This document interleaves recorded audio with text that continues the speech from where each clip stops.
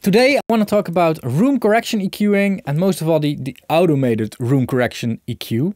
I've got Sonarworks Sound ID over here and Dirac Live over here, the measurement mic for Dirac Live over here.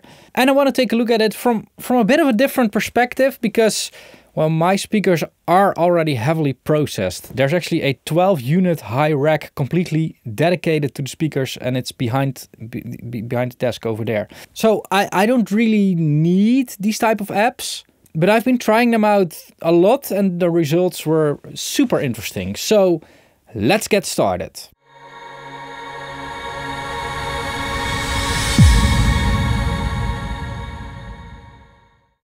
So first of all, room EQing. I actually think that we can name room EQing differently.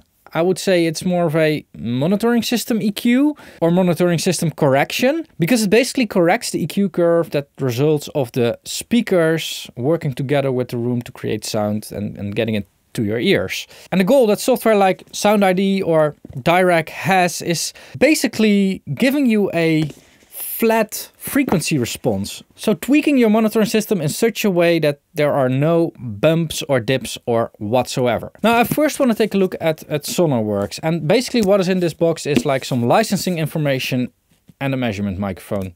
It's actually quite a big box for what is in there. So this is the measurement microphone for Sonarworks. It's it's yeah, it's it's like like a measurement microphone should look like. Uh, it works on XLR, so you need to have a preamp or an interface with a preamp in order to use this. And basically all the magic happens in the software. So measuring your system using Sonarworks is really easy. Um, the software is super advanced and it, it really just guides you through the measurement. What I found really interesting is that it's very thorough. It, it actually measures the distance between your speakers and your sweet spot. And it does like 39 measurements of like all the different places in your room because there's no such thing as a sweet spot. Like you never have your head at the exact same position. It's more like a sweet zone, if you ask me. And that's really why Sonarworks needs so many measurements.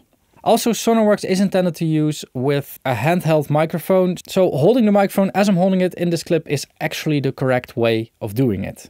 And one of the coolest things that Sonarworks has is that positioning a system with those clicky things where it really knows where you're holding the microphone and really can guide you like, hey, I need this spot and I need this spot. So really nice designed measurement interface. And the same actually goes for the correction interface or like the, the software used to actually apply the filters to your speakers. It's really advanced, so you can almost do anything with it. But of course, the most important question is, how does it sound?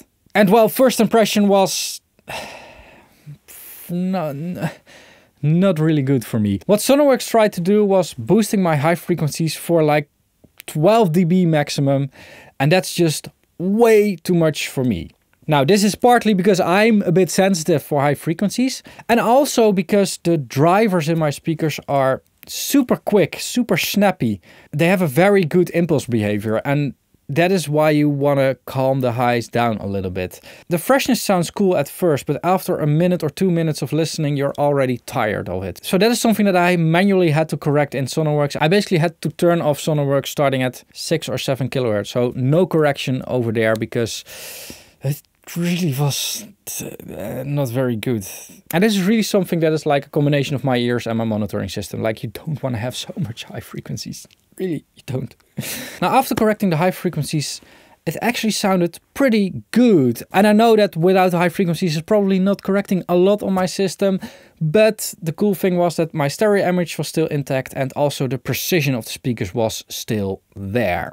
Now one extra feature in Sound ID is the translation check and basically has a few filters where you can check it in different environments. It's kind of cute, doesn't really work for me. Like if I check out their earbud presets, it really doesn't sound like the earbuds that I have. And the earbuds that I have should be the one that they mean to simulate. So it's cute. I wouldn't use it too much. It's just a nice gimmick. Then on to Dirac. And Dirac actually uses a mini DSP microphone. So that's a more generic microphone. This is the mini DSP microphone. It's a little bit darker in color, but it looks almost the same as the Sonarworks microphone, which is this one. Like it's very difficult to spot the difference until you look at the back of the microphone. The mini DSP microphone comes with a USB-C connection, so you do not need a preamp and you can plug it in directly over USB on your computer. Now measuring with Dirac is a little bit more of a hassle. Like the software isn't as smooth as Sonarworks is. And how it works is that you need to open your DAW, load the Dirac plugin in there. That is for your output. And then you have a separate app that connects with the plugin to do the measurement with. Now Dirac guides you through the measurement as well, but it doesn't have that intelligent microphone location uh, position that uh, Sound ID has. So it's a little bit of guesswork of where to place your microphone. Also, as far as I know, Dirac is really meant to be used on a microphone stand. So that's also what I did. And I actually was standing in the corner of the room for every measurement that I was doing. Now Dirac needs less measurements, they only need nine of them, but they are requesting you to measure uh, on higher and lower uh, uh, distances from the ground, whereas Sonarworks is like they're asking you to measure at the same height. So yeah, I don't know. Now, when you've done the measurements in Dirac, it suggests a filter for you. And what is interesting is that Dirac automatically suggested me to not do the high frequency filtering. It actually cut it off that, that big boost and that's highly appreciated. Now, Dirac does sound a little bit more flat or a little bit more neutral if you call, call it like that, but it tends to lose a little bit of precision. And I think this has to do a little bit with ringing. And I did a very well, not standardized test in order to show this. It's it's a little bit difficult to really show what is going on. But I've made a sine wave file, actually on two different frequencies. And I've played it back just as line level, so no acoustic stuff. I've just played it back through both plugins in order to see what happens as soon as the sine wave stops. And you can see that Sonarworks stops almost immediately and Dirac actually has a little bit of ringing going on. And it's also interesting that there's more ringing on the right channel than on the left channel. Like what's going on there. But I think that ringing is what I mean with losing a little bit of precision. Also, a small side note, Dirac does have a little bit of latency, which you can also see in these measurements. Now, how flat is flat? Like in theory, if I would measure the acoustics of my room on both apps, when having them correct the full frequency spectrum, I should see the same straight line. And well, I did that. I did a nine point average measurement. So measuring nine points and then averaging them. And we're seeing two quite different frequency responses. And indeed, the one from Dirac is a bit more flat than the one from Sonarworks. So I don't know what is going on there, but like there are different perceptions of what is actually flat or something. It's a bit strange. And apart from like the small differences, the biggest difference is of course in the high frequencies where Sonarworks cuts off pretty early with correcting while Dirac is really keeping on going straight, straight line, straight, whatever. Now if you're looking to correct your monitoring system and want to choose between these two, I would choose uh, Sound ID. See, Sonarworks is still on the box, but I think it's now completely called Sound ID. So I'm calling it Sonarworks and Sound ID at the same time. Now the reason why I would choose Sonarworks is because you almost cannot fail with this. The software and the user experience is just built so well. You can really see that there's years of development in this. Also it can function latency free and overall it's just a more complete package. On the other hand, Dirac is also great, but I think it needs a little bit more development to really get that user experience that Sonarworks has. And also setting it up is just a little bit more of a hassle with all the software routing, connecting the plugin with the stuff. It's, it's just a little bit less smooth. Oh, and of course Sonarworks has way less ringing and detail preservation on the original signal. So I find that really important. Now, software like this is really cool, but please keep in mind that it's not an end game or do it all or magic solution to your monitoring problems. I think that most correction can better be done in your monitoring system itself, so that's your speakers or your room.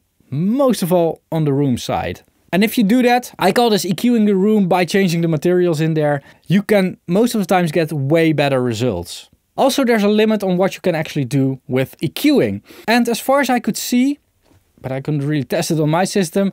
The software itself doesn't really limit it. But imagine that you have like an 18 decibel gap coming from like a standing wave or something on your listening position. There's only so much air a speaker can move. Like if you need to boost 18 decibels, you can probably burn out your speaker or something. Like like that's just too much. Like corrections like that really need to be corrected in the room using bass traps or whatever traps depending on the frequency. And that's all that I wanted to share about monitoring EQ, room EQ, however you want to call it. I think it's all that I wanted to say. And for the disclaimer, both Dirac and Sound ID Sonarworks did send me their software and hardware packages. Um, I've actually been emailing a lot back and forth because I had a lot of issues with it and I found a lot of well, small bugs and that kind of stuff. They both did actually send it to me because they saw my new speaker system and really wanted to know how it performed on, on my speakers. There wasn't a direct intention to make a video about it, but I thought like, hey, I have them both now. I can do a great comparison. They're not paying me, not, not for finding the bugs and also not for making this video. They're not seeing my videos before anyone else. And I think that they don't even know that I'm making this video. So uh, that's really funny. Now, if you like my independence and want to support that, make sure to do that by clicking the links down below. I've got merchandise links and I've also got affiliate links and affiliate links are really cool because you can buy your gear using that affiliate link without paying anything extra, but you are still supporting me because a small percentage of your purchase gets kicked to White Sea Studio. Another way to support me is by joining the fan club on Patreon. And on Patreon, you get early extra videos, answers to your questions, and some other good stuff. It's all on Patreon. Last way to support the whole YouTube platform, because YouTube is still the greatest platform of them all, is by watching more videos. And they will probably be linked around this video. I'll link one of my own videos in this video over here. So make sure to check that one out. Uh, I want to thank you all for watching. Keep pushing and bye bye.